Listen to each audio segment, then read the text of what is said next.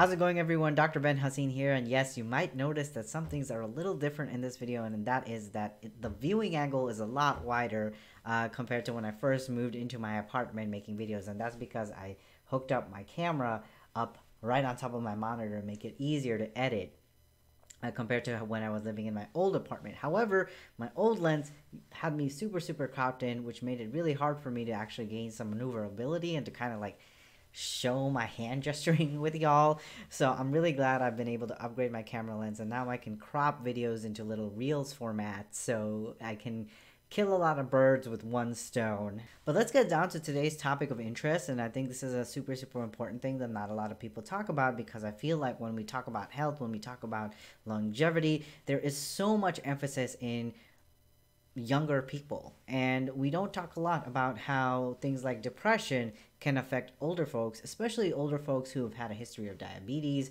heart disease, or have had a previous heart attack because a lot of people don't know this, but if you have a medical illness, a general medical illness, and you also have comorbid depression, older adults with depression and whatever underlying medical illnesses they have tend to do worse and have worse outcomes and some of those worse outcomes is increased likelihood of death compared to people with the same medical illnesses as them without depression. And you might be wondering wow i didn't know depression has such an impact on older folks with things like coronary coronary artery disease congestive heart failure strokes.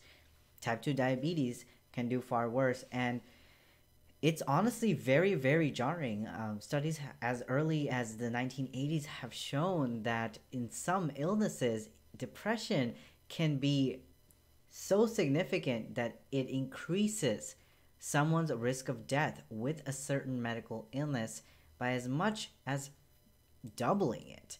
Um, if you take coronary artery disease as an example a study has shown that those with coronary artery disease and depression have a 20% increased risk of dying compared to the same um, group of people without depression. We see similar statistics when it comes to other illnesses that older folks may experience, such as type 2 diabetes. Like I've said, diabetes is not something that's static. Usually, when people get older, their diabetes gets harder and harder to manage, which comes with more and more complications from having long-standing diabetes. It can also affect people with strokes. Um, people with who have had a stroke and have depression that goes untreated are at increased risk of death within the next five years compared to those without it. So all of this is to say that we shouldn't take it lightly when we have a family member who's getting older, who's getting all of these medical illnesses diagnosed because that's just how the trajectory of life tends to be also has depression, we shouldn't wave depression off because depression can be an an influencing factor that basically alters someone's course in life living with a specific illness and whether or not they will keep on living. Another huge motivating factor on people's early death later in life are elderly folks are more likely to have increased number of falls when they have comorbid depression, which you might be thinking, what does falling have to do anything with, you know, getting more sicker and dying early? Unfortunately, for elderly folks who are over the age of 65, it's actually one of the biggest contributors of early hospitalizations, early death. That's why when you go to a primary care setting, you take grandma and grandpa to the doctor, they'll always say to get rid of anything on the floor, such as rugs, that can lead to falls. Because elderly people have much more softer bones, they're more likely to have severe injury when they fall. If they hit their head, they're more at risk for intracranial bleed. So, if an elderly person were to have comorbid depression, they have an increased risk of death due to falls and the complications of falling.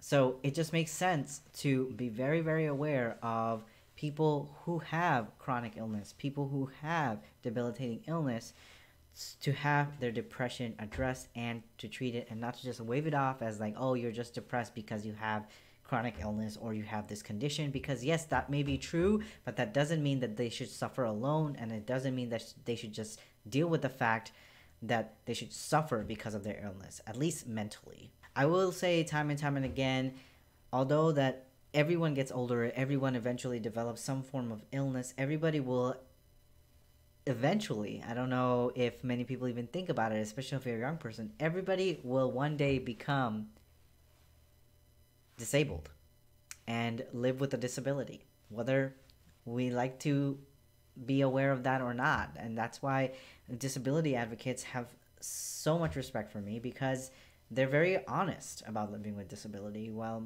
many of us who lived able bodied throughout, throughout most of our life have such a hard time coping with the fact that our bodies are not keeping up with our minds.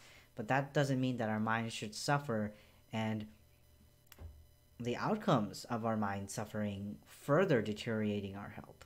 Now, if, if, you've gotten to this point of the video, you might be wondering how does depression even contribute to early death among people who with comorbid medical illness such as heart disease, such as heart failure, such as type 2 diabetes? And a lot of people have asked me that question. Like, I don't get it. Like, depression, yeah, it, it sucks, but how does it really affect anything such as like my grandmother falling more often?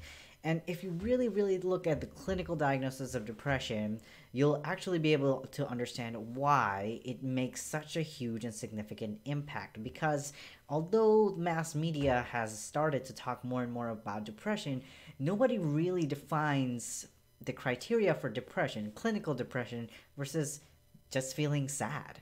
The diagnosis of clinical depression, major depressive disorder, is actually very, very complex and usually requires a medical professional to diagnose you with major depressive disorder compared to just feeling sad, which most people nowadays call depression. So, for major depressive disorder, you actually have to meet five specific criteria in at least the last two weeks to have that diagnosis. But I won't spare you the details of all the criteria, but I'm going to go over some of them so that you can understand why these symptoms can contribute to people not taking care of themselves and can contribute to early death. One of the huge factors when we also think about falls for elderly folks of major depression is something called psychomotor slowing, which means people get slower. They move slower throughout the through the world where they usually, when they're not depressed, kind of act normal and like like me i'm very hyperactive most of the time and i use a lot of gestures but if i were to go through a depre- major depressive episode you'll see me not be as interactive. I will probably have a more flat tone of affect.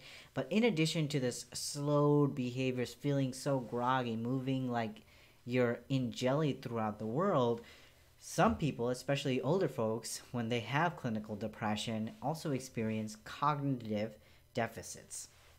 Cognitive deficits make someone feel like they're actually in some form of brain fog. They might forget things more. Sometimes depression is so bad among elderly folks, it gets confused for something like dementia. They start to forget things, they forget to do, uh, to le- they leave the stove on, and it might make them less aware of the world, so they're tripping on things more often. Another aspect of clinical depression includes decreased appetite and decreased drive and decreased motivation to do things. So, if you have coronary artery disease and you have to take medications every day, or you have to go see your doctor every now and then, or you need procedures every now and then, if you have clinical depression, you have less internal internal drive to get things done in the day. If you also have the psychomotor slowing that I've talked about and also the cognitive decline, you're going to forget your appointments, you're going to forget to take your medications,